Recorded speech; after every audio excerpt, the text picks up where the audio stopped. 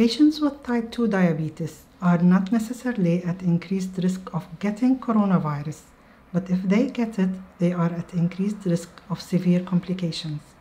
That's why in those challenging days, you need to control your blood sugar. If you are on oral medications, take your tablets daily on time. Do not stop any medicine by yourself and make sure you have enough stock at home.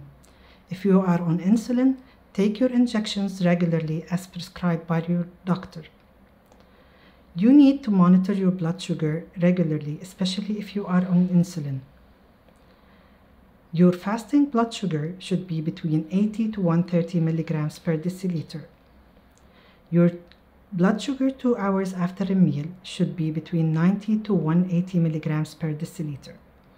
If you have a persistently low blood sugar less than 70 milligrams per deciliter or high blood sugar more than 280 milligrams per deciliter, please call us on the hotline 16099 extension 4 and we can help you. There are few measures that you can take to stay healthy while staying at home. First, sleep well. Sleep 7 to 8 hours a day. Second, keep hydrated. Drink around 8 cups of water a day.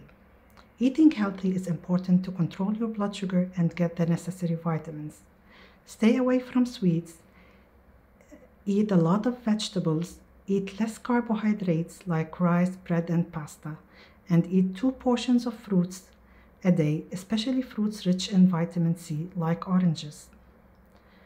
I know it's not easy to exercise, but stay, stay active as much as you can. Walk in or around the house or do simple home exercises. Aim at exercising 30 minutes a day for five days a week.